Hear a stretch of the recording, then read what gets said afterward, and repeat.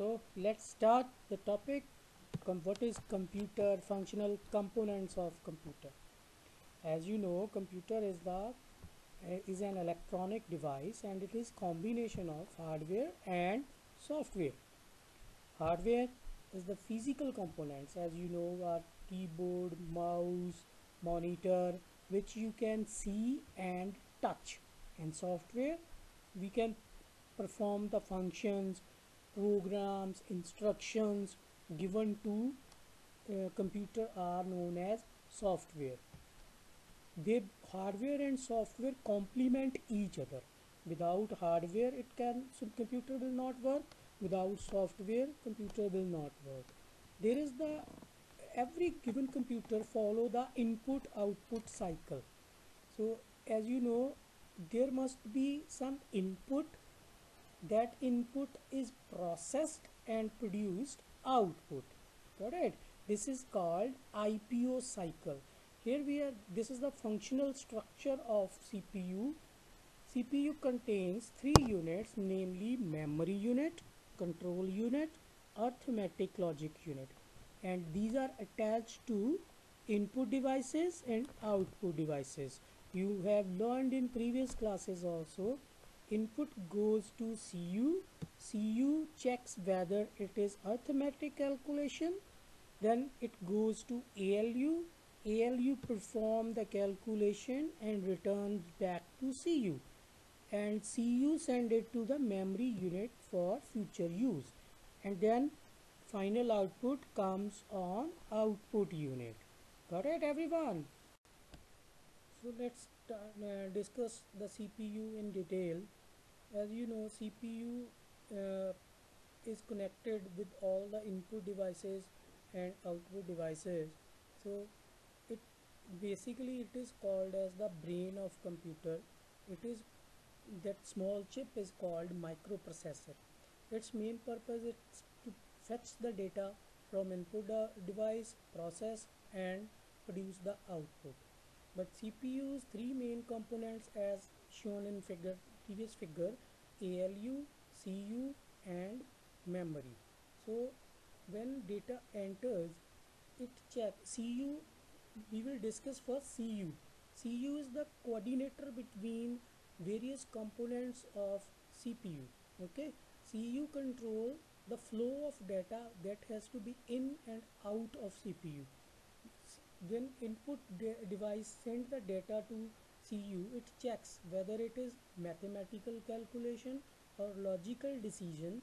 It sends it to the ALU and ALU perform the calculation and send it back to the CU now further if we want to store the data it goes to the memory unit.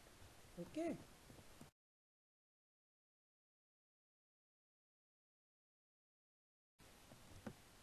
Memory of computer memory is the most essential important part of the computer. Without memory computer cannot perform even simple tasks. Computer's memory of is of two types primary and secondary. Primary memory or internal memory is built inside the cpu it is uh, again of two types ram and rom. Now when we have to store large amount of data we used to store it on secondary memory like hard drive pen drive flash drives memory cards dvd etc ram stands for random access memory and rom stands for read only memory. Ram is a volatile memory. Volatile means that will be wiped out as we switch of the computer. But ROM is a non-volatile memory. It remains there even if computer is switched off. This diagram shows you again we have discussed the primary memory and secondary memory are types of computer memory. Primary memory is divided into two parts RAM ROM ROM is a non-volatile, RAM is a volatile. So RAM again of two type, SRAM, static RAM and DRAM, dynamic RAM.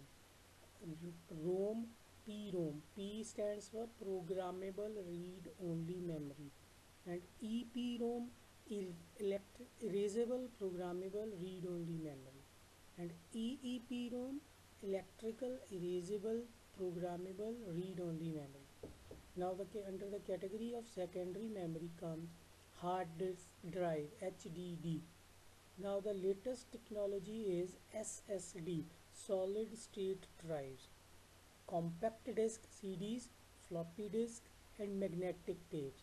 Magnetic tapes are not in very much of use these days. Only floppy disk is also is out of order now. CD CDs come uh, we have now DVDs Blu-ray discs and pen drives flash drives are the other secondary memory devices. Now the classification of computer we can divide the computers into three parts according to the technology used in them. One is first is digital computer analog computer and hybrid computer digital computer perform uh, or process the information in discrete form. Discrete form means like on and off. One one uh, it represent the data in the presence or absence current uh, of the current voltage. It computes by counting and adding operations the digital computer are used in industry, business, scientific application. These are quite suitable for large volume of data. Analog computer, it works on continuously changeable aspects of physical phenomena such as fluid pressure, mechanical motion, electrical quantities. These computers manage measure changes in continuous physical quantities say current and voltage these are uh, analog computer for example thermometer because it measures the change in mercury level continuously okay although the accuracy of analog computer is less as compared to digital computer but it used to process data generated by changing physical quantities especially when the response to change is fast. Most present day analog computer are well suited for simulating system. A simulator helps to conduct experiment repeatedly in real life and real time environment.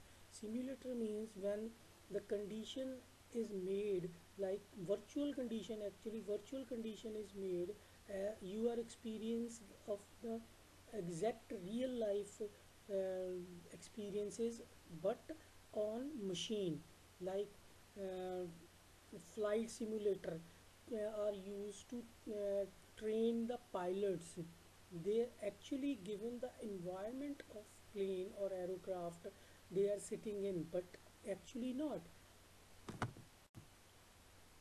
third style of computer is hybrid computers they use both the technologies analog and digital. It has the speed of analog computer and accuracy of digital computer. It accepts digital and analog data but they convert the analog data into digital and digital data into analog. Generally the analog component provide efficient processing of differential equation. Now we will discuss about the digital computers. The classification of digital computer. Digital computers are of four types. Microcomputer, mini computer, mainframe computers and supercomputers. Microcomputer are known as personal computer we are using these days like our desktops, laptops, PDAs. Basic thing that microcomputer is they use a single CPU make it note single CPU uh, that work these these computers can work on small volume data data but uh, they are versatile and can handle variety of applications like we are using okay? Mini computers mini computers are those they can they can have single processor installed single, single CPU installed but the users are multiple. They can work simultaneously on same computer these are mainly used in big organizations like banks hospitals where computers are installed in various departments but they are interconnected and single machine is used single cpu is used by many departments of that organization. And mainframe computer these are very large and powerful computers with high memory capacity basically their memory capacity is large than mini and micro computer these can process huge database such as sensors at extremely fast rate. They are suitable for big organizations like banks, industry and can support hundred of users simultaneously on the network. Now the supercomputer. Supercomputer are the fastest and expensive computer. They can execute billions of instructions per sec second. They now the basic difference between other computer and supercomputer is there are multiple processor. Multiple processor means they are having one more than one or two three four processors. They perform parallel systems suitable for specialized complex scientific applications. The most common example for supercomputer is weather forecasting department. Basically supercomputer are used by governments where huge data they have to analyze and assess simultaneously. Okay. We have come to an end of this topic.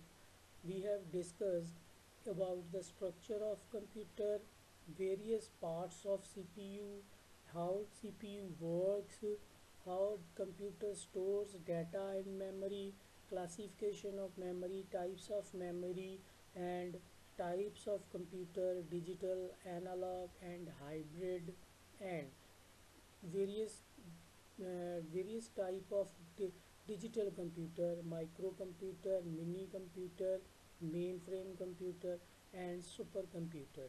Okay? Now you will prepare the notes about this and do it on your notebooks. Thank you